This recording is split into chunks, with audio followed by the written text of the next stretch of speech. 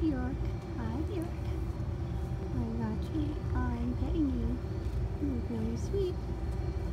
All right, sweet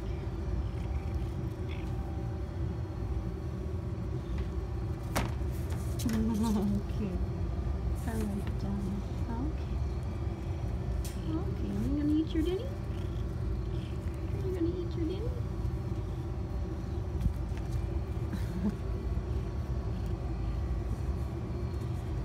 Head mushing in two hands. It's your specialty. Yay.